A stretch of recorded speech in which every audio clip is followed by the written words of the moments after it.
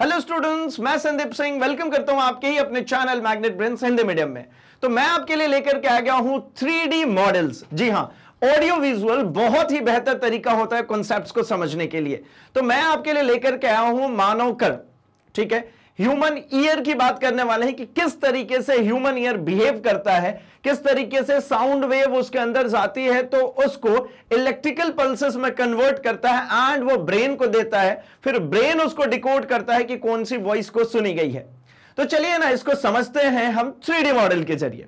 तो देखिए, जैसा कि आपको यहाँ पर दिख पा रहा है यह है हमारा पूरा कान का स्ट्रक्चर क्या क्या पार्ट होता है? तो हमारे कान में तीन तरीके के मेन ऑर्गन्स कहे जाते हैं। एक होता है हमारा बाह्य कण, एक होता है हमारा मध्य कण और एक होता है हमारा इनर कण।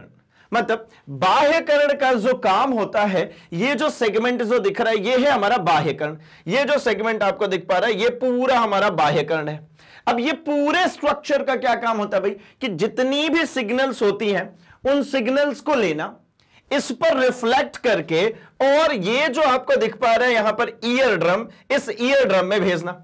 अब जैसे ही यहाँ पे सिग्नल्स बाहर से चल करके आ रही हैं, ये पूरा कलेक्ट करके ये कहाँ भेजना भाई? ईयर ड्रम के अंदर।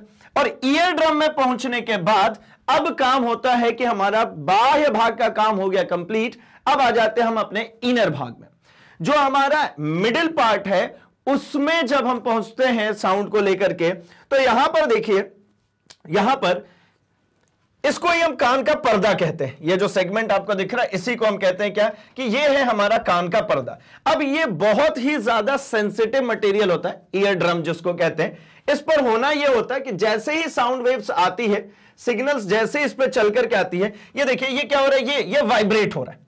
ये वाइब्रेट हो रहा है। अब इसके वाइब्रेशन से क्या हो रहा है? तो इसके वाइब्रेशन के कारण इसी मिडिल ईयर के पार्ट हैं हमारे पास में तीन हड्डियाँ। ये तीनों हड्डियाँ, ये जो आपको दिख रही हैं, है ना, इन तीनों हड्डियों में ये हमारा हैमर होता है, ये हमारा एनविल या इनस्कस भी कहते हैं इसको। और सबसे आखिरी में जो होता है, ये होता है स्टप ये सबसे छोटी हड्डी के नाम से भी जानी जाती है, हमारे बॉडी पार्ट में सबसे छोटी हड्डी काम कैसे कर रहा है? तो आप देखिए, जब साउंड वेव इस ईयर ड्रम पर आकर के पड़ेगा तो ये होती है वाइब्रेट इसका वाइब्रेशन इस हैमर के ऊपर पड़ता है और इस एनविल के ज़रिए स्ट्रप पे जाकर के हिट करता है। अब कैसे होगा? तो फिर से देखते हैं हम इसी चीज़ को। ये वेव आई, ये देखिए, यहाँ से जाकर के ये हिट कर रहा है। अब इसका जो पार्ट होता है, ये जाकर के हिट कर रहा होता है हमारे कोकलिया को। अब कोकलिया कैसी बनी होती है भाई? तो अभी तक हमें बस बात ये समझ में आया कि बाहर से जो हमारा बाह्य कर्ण है, उसने सिग्नल्स को लिया। ईयर ड्रम पे दिया तो ईयर ड्रम ने वाइब्रेट करके इन हड्डियों के माध्यम से कहाँ पहुँचा दिया? कोकलिया के पास। कम टू द कोकलिया ये है हमारा कोकलिया अब कोकलिया में क्या पोर्शन होता है? इस तरीके का पूरा स्ट्रक्चर है। इसके अंदर में यहाँ पर भरा होता है लिक्विड ये देखिए, ये हम किसी भी एक पोर्शन को लेते हैं। ये हमारे पास में पूरी तरीके से क्या भरे होते हैं? लिक्विड। इन पर होते हैं हमारे हेयर सेल्स। हेयर सेल्स का काम क्या होता है? तो देखिए, आइए, यहाँ पर हम समझते हैं इसको।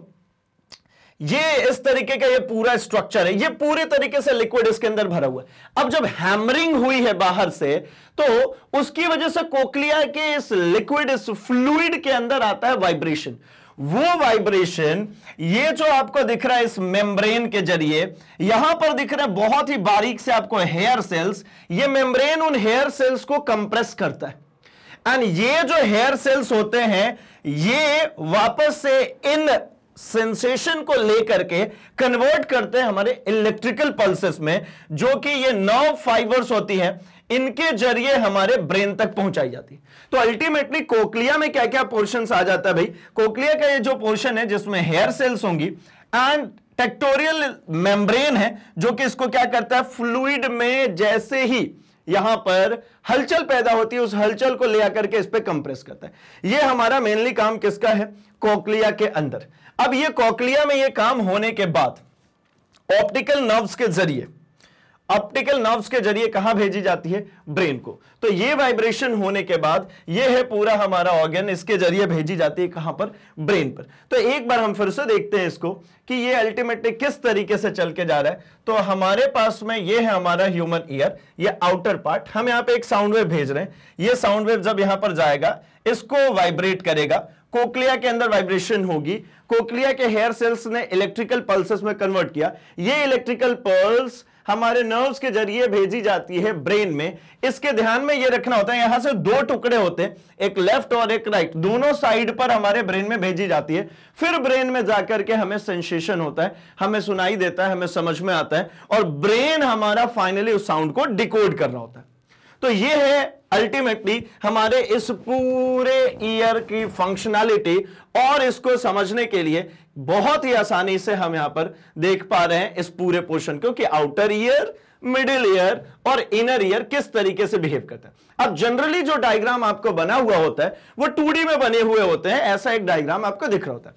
बट यहाँ पर समझना कितना आसान है ना, जब हम इसको थ्री एनिमेशन के ज़रिए समझ रहे हैं, बहुत ही इजिली हम इसको कंप्लीटली समझ पा रहे हैं। तो ये रहा हमारा ह्यूमन ईयर का डायग्राम इसी तरीके से आगे आने वाले सेशन में मैं लेकर के आऊँगा आपके लिए बहुत सारे ऐसे कॉन्सेप्ट्स जिनको थ्री मॉडल से समझना आपके लिए हो जाएगा बहुत ही आसान. तो स्टेट इन विद अस मिल रहे हैं अपने अगले सेशन में.